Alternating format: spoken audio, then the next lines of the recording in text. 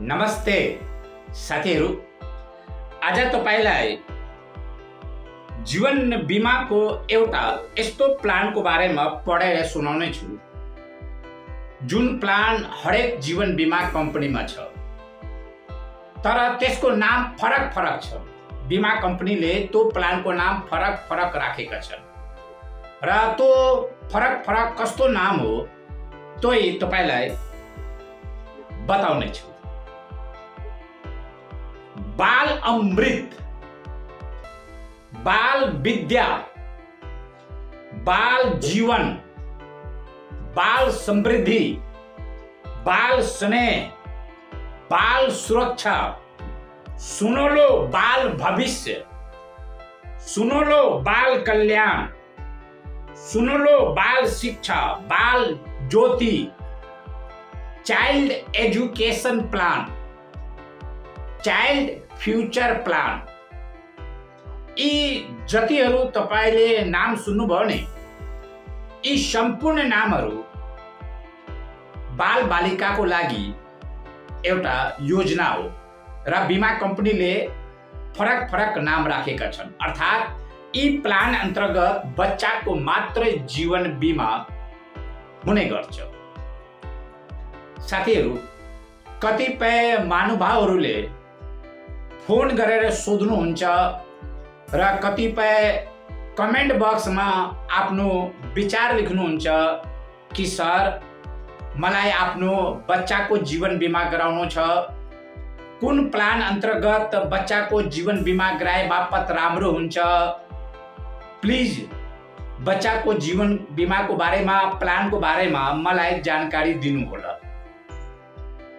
साथीहरू मैले बाल बालिकाको जीवन बिमाको बारेमा धेरै भिडियो आफ्नो च्यानलमा अपलोड गरिसकेका छु। बच्चाको जीवन बिमा गर्ने बेलामा बिमा कम्पनीबाट कस्तो खाले सेवा सुविधा पाउँदै रहेछन्, बच्चाको जीवन बिमामा के के टर्म एन्ड कन्डिसन, के के नियम र शर्तहरू हुँदो रहेछन्, यसबारेमा मैले अलरेडी जानकारी दिइसकेको छु। तपाईँ मेरो च्यानलमा जानुहोस्, सर्चमा टाइप गर्नुहोस्, बच्चाको जीवन बिमा मात्रै टाइप गर्नुहोस्, त्यहाँ चार पाँचवटा भिडियोहरू आउँछ र जुन लेटेस्ट भिडियो छ नि, एक वर्ष, दुई वर्ष अगाडि अपलोड गरेको भिडियोलाई नहेर्नुहोस्, लेटेस्ट भिडियोलाई तपाईँ हेर्नुहोस्, त्यहाँ तपाईँलाई नयाँ जानकारी प्राप्त हुनेछ।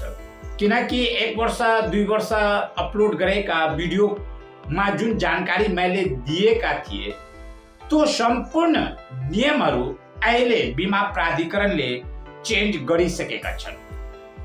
तब बिमा प्राधिकरणले बारम्बार बिमा क्षेत्रमा नियमहरू चेन्ज गरिराखेका हुन्छ त त्यसकारण तपाईँलाई नियमित अपडेट हुनुपर्छ र अपडेट हुनुको लागि तपाईँलाई नयाँ नयाँ भिडियो हेर्नै पर्छ। त यसको लागि मेरो च्यानल मोर वाच, मोर लर्नमा तपाईँहरूलाई हार्दिक हार्दिक स्वागत छ।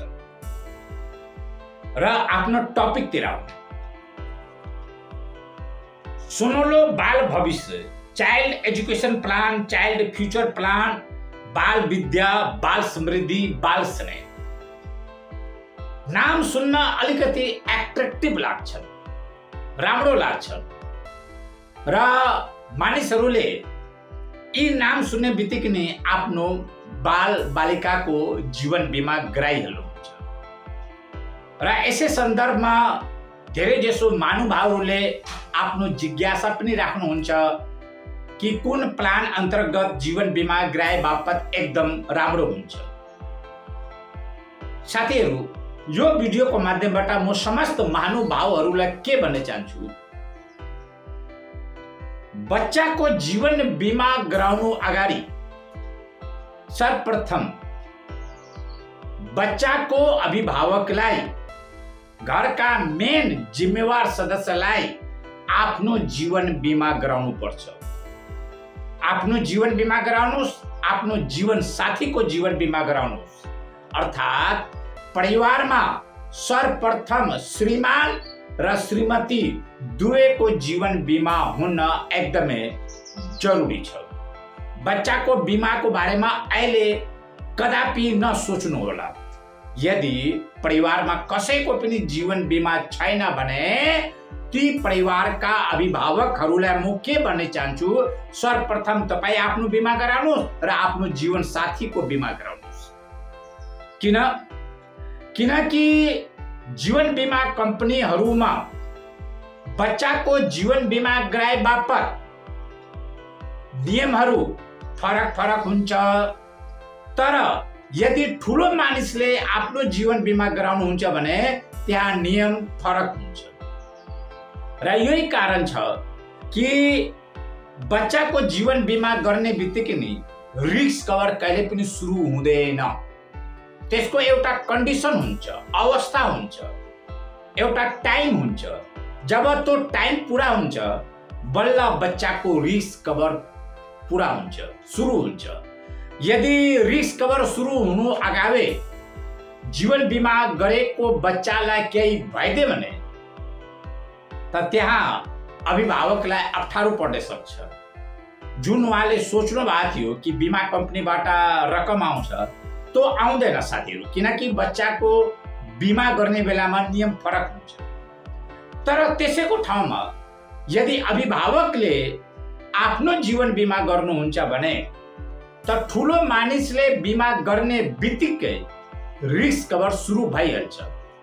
र अर्को एउटा महत्त्वपूर्ण जानकारी तपाईँलाई के दिन चाहन्छु बाल बालिकाको जीवन बिमामा दुर्घटना बिमाको सुविधा पाइँदैन साथीहरू तर यदि ठुलो मानिसले, जसको उमेर अठार वर्ष भइसकेका छन्, त अठार वर्ष या अठार वर्ष भन्दा माथिका, जस जसले आफ्नो जीवन बिमा गराउनुहुन्छ, त उहाँहरूको जीवन बिमा सँगसँगै दुर्घटना बिमा पनि अलरेडी इन्क्लुड भएकै हुन्छ। त यो हो फरक। त त्यसकारण बालबालिकाको जीवन बिमा गर्नु अगाडि सर्वप्रथम अभिभावकलाई आफ्नो बिमा गराउनु पर्छ। र एउटा सत्य कुरा यो पनि हो कि नेपालमा अहिलेसम्म धेरै जसो मानिसहरूलाई थाहै छैन कि बिमा हो के? बिमा गर्न किन जरुरी छ? परिवारमा सर्वप्रथम कसको बिमा हुन जरुरी छ? यो धेरै जसो मानिसलाई अहिले पनि थाहा छैन। र यही कारण छ कि कतिपय धेरै जसो अभिभावकहरू आफ्नो जीवन बिमा नगराई, आफ्नो सानो सानो बाल बालिकाको बिमा गराउनुहुन्छ जुन एकदमै गलत हो। किन? किनकि बिमा कम्पनीको टर्म एन्ड कन्डिसन अनुसार, जीवन बिमा कम्पनीको नियम र शर्त अनुसार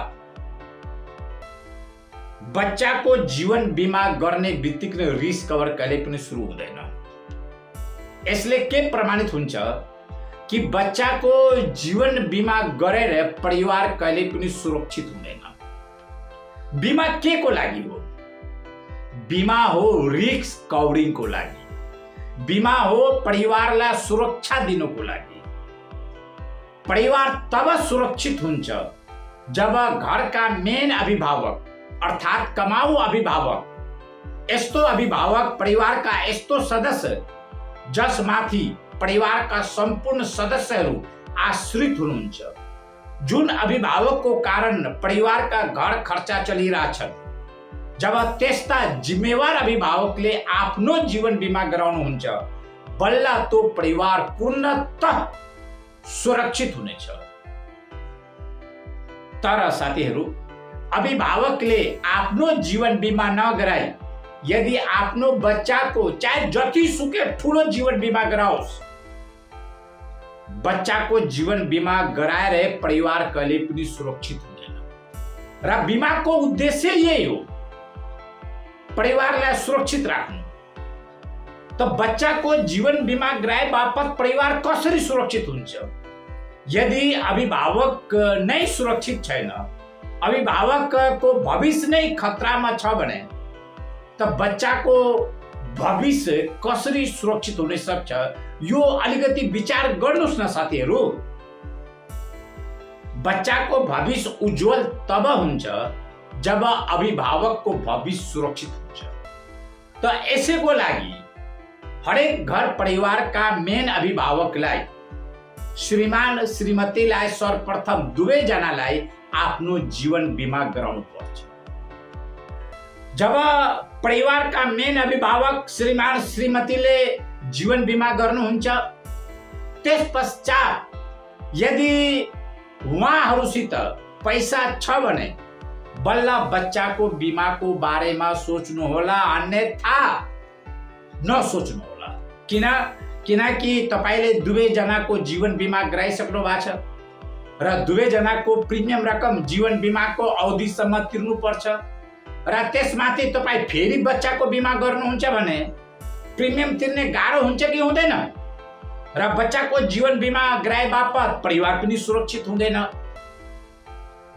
त परिवार सुरक्षित राख्नको लागि अभिभावकलाई आफ्नो बिमा गराउनु पर्छ र जीवन बिमा गराउनु अगाडि हरेक अभिभावकलाई सर्वप्रथम आफ्नो आय स्रोत हेर्नु पर्यो। आर्थिक क्षमता हेर्नु पर्यो किन किनकि जीवन बिमा गराए बापत आज जुन प्रिमियम रकम तपाईँ बिमा कम्पनीमा तिरिराख्नु भएको छ यही प्रिमियम रकम तपाईँलाई जीवन बिमाको अवधिसम्म तिर्नुहुन्छ, बल्ल बिमा गरेको महत्व, बिमा गरेको फाइदा हुनेछ, अन्यथा बिमा गरेको कुनै अर्थै हुँदैन। झन् तपाईँलाई नोक्सान हुन्छ, यदि तपाईँले प्रिमियम रकम तिर्नु सक्नु भएन भने, या तिन चार वर्ष चार पाँच वर्ष पछि आफ्नो बिमालाई बन्द गराइदिनुहुन्छ नि त्यहाँ तपाईँलाई झन् नोक्सान हुन्छ। त जीवन बिमा गराउनु अगाडि हरेक मानिसलाई आफ्नो आय स्रोत हेर्नु पर्यो र आय स्रोत अनुसार जीवन बिमा गर्नु पर्यो र बच्चाको जीवन बिमाको बारेमा अहिले नसोच्नु होला सर्वप्रथम तपाईँ आफ्नो बिमाको बारेमा विचार गर्नुहोला। बुझ्न भने ल आजको लागि यति नै। नमस्ते धन्यवाद।